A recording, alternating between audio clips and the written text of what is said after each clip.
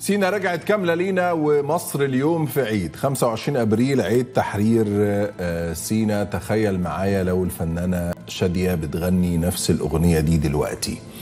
يا ترى هتقول إيه؟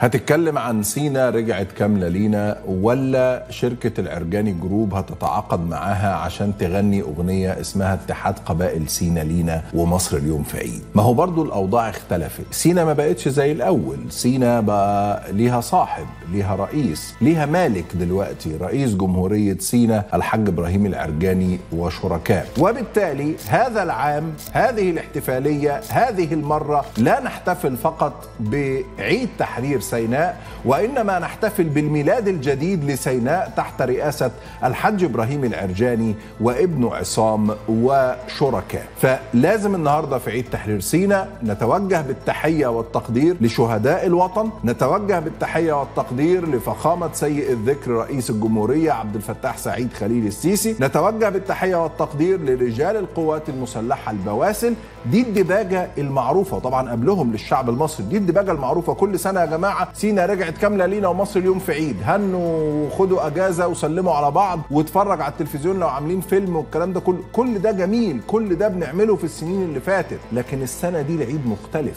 السنة دي نحن لا نحتفل بعيد تحرير سيناء وفقط وإنما نحتفل بعيد تحرير سيناء في ذكراه وميلاد سيناء الجديدة. برئاسة الحج إبراهيم العرجاني أحد رجالات هذا الوطن. من ضحى بمش عارف بإيه لأجل ما يعود ال- الانتصار. الراجل اللي ضحى هو وولاده الراجل اللي شال كفنه على إيده الراجل اللي كان بيضحي بروحه وقدم روحه فداء سيناء وتراب سيناء الراجل اللي رفض يبيع سينا للإخوان ورفض يبيعها للموساد الإسرائيلي بس باعها لمحمود السيسي.